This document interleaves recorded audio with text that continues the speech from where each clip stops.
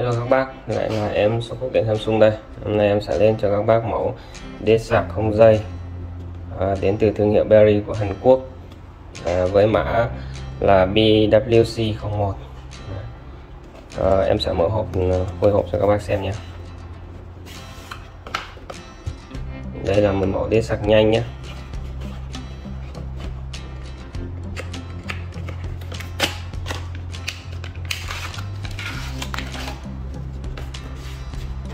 Đây. Ở bên trong thì nó sẽ có một uh, sợi cáp USB Type C. Và một uh,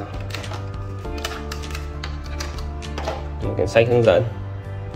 Và nhân vật chính là cái đĩa sạc không dây. Đấy,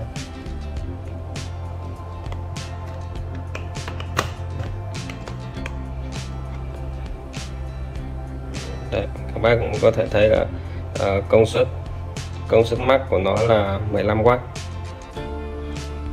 đây bây giờ em sẽ cắm sạc vào nha bác để đấy, đèn nó sẽ chuyển chuyển nháy một lần nha đấy, các bác dựng cái thanh sóng ở đây này. Để sạc. Thì uh, trên tay em đây là chiếc uh, Note 8 nhé đấy. trên tay em là chiếc Note 8 này. Đây, hỗ trợ sạc nhanh này. Thì bây giờ em sẽ sạc thì xem là cái đèn nó có thông báo gì không nhé các bạn xem. Đấy. Đấy đang đã sạc nhé đấy trên máy nó cũng sẽ báo là sạc vào nhé đấy. Đây đây trên điện thoại nó sẽ báo rất là rõ này. Sạc ờ, không dây này. Đang sạc ở năm tám phần trăm này. Khoảng ờ, 1 giờ 29 phút nữa sạc sẽ đầy đấy, Vâng. à, các bác dùng à, xà sạc không dây thì đây em có thể đặt ngang này. Đây nha các bác em có thể đặt ngang này. Đấy thì cũng sạc như bình thường nhé em thử đặt như này xem có sạc không? Đấy vẫn sạc bình thường các bác nhé đấy. đặt sạc tiếp này. Đấy.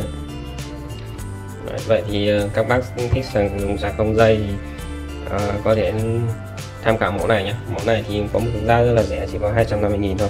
Này là các bác có thể sở hữu cho mình một cái, cái sạc không dây mà có công suất tối đa là 15W nhé có công suất tối đa là 15W các bác mua hàng thì liên hệ số em số phụ kiện Samsung. Hoặc truy cập trực tiếp vào website của kiện Samsung.com để mua hàng. Hoặc cũng có thể qua địa chỉ là 24 Ngõ 70 Thái Hà Đông Đa Hà Nội để trực tiếp trải nghiệm sản phẩm. Hotline hỗ trợ bên em là 0829 959595 nhé Cảm ơn các bác đã xem video.